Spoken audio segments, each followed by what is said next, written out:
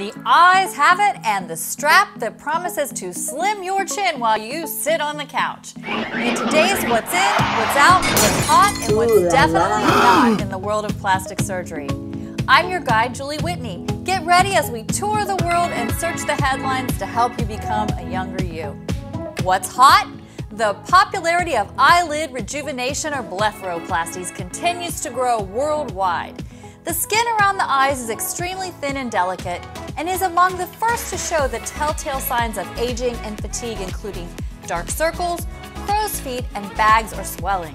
Eyelid lifts can make a tremendous difference in appearance with long lasting results, as they leave you looking rested and refreshed and can be performed in about 30 minutes under local anesthesia.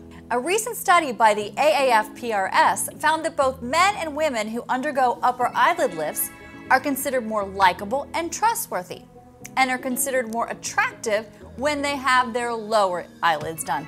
So why not do both? What's not hot?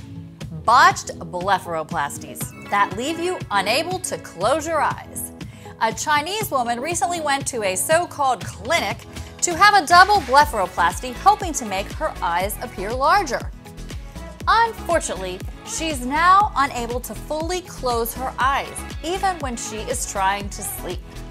The clinic did a revision surgery, which only made matters worse.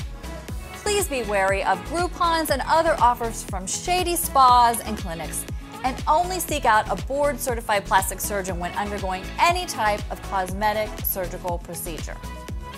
A great place to check out honest reviews and before and after photos from real patients is a website called realself.com. What's not hot? A 20 year old woman in eastern China with the pseudonym of Wan Wan found her life turned upside down when her nose job altered her appearance so drastically that facial recognition software no longer recognized her. She was unable to sign in at work or board high speed trains, check in at hotels, and was banned from all online payment gateways. And what's lukewarm? Yumi. Procter & Gamble's new artificial brand ambassador that provides beauty advice to consumers. Yumi, can you tell us what you do? What don't I do?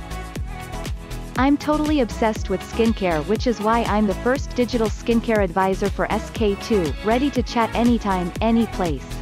Wow, so do you have any advice for all the beautiful young people in the audience? Moisturize. And I mean you too. It's the best way to stay young, just look at me. P&G calls Yumi the world's first autonomously animated digital influencer. Yumi works sort of like Amazon's Alexa or Apple's Siri on an iPhone, but her voice is paired with a digital image of an attractive face. Consumers can turn to her for skincare questions at any hour of the day or night. Time will tell how popular she becomes. It's up to you.